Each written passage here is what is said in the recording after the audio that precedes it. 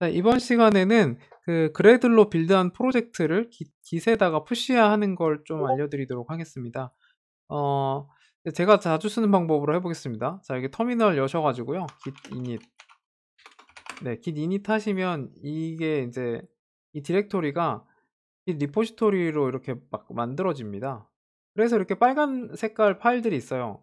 네, 여기 build.gradle 그 다음에 그래들 W, 그래들 BAT, 세팅스.gradle 이것까지 Git에 다 넣으셔야 돼요.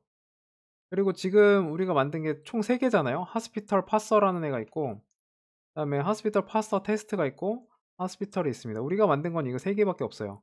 그래서 이 3개는 당연히 그 Git에다가 add를 해주시고요.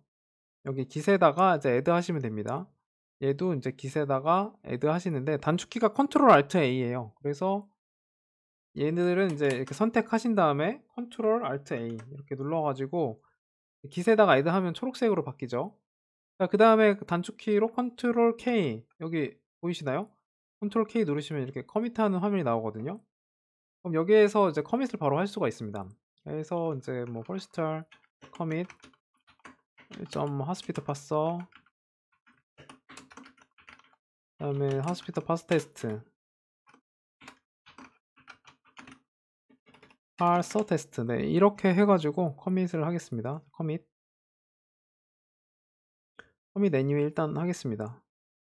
네 이렇게 하시면 이제 local repository까지 commit이 된 거고요. 네, Sourcetree로 하셔도 되는데 이걸로 보여드리는 겁니다. 자그 다음에 Git에다가 remote를 추가를 해야 되죠. manage remote manage remote 추가할 건데 그럼 remote를 새로 만들어야 되겠죠. Git에 가가지고.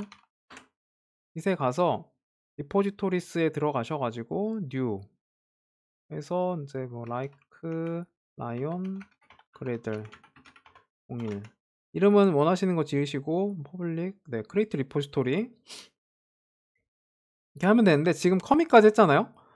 그래서 이제 branch를 바꿔줘야 돼요. git 브랜치를 메인으로 바꿔줘야 돼요. 이거 이제 copy해가지고 여기 자 CL 여기 터미널 여셔서 여기 붙여넣기 엔터 치시면 되고요 그럼 오른쪽 아래 main으로 바뀌었죠? 네, 이렇게 main으로 바뀐 거 확인하신 다음에 자, 그 다음에 그 여기 remote origin 이거 command로도 이렇게 할 수가 있어요. 여기 우리 이렇게 Git에서 manage remote도 할 수 있는데 터미널에서도 그냥 이렇게 붙여넣기 하시면 바로 remote가 추가가 됩니다.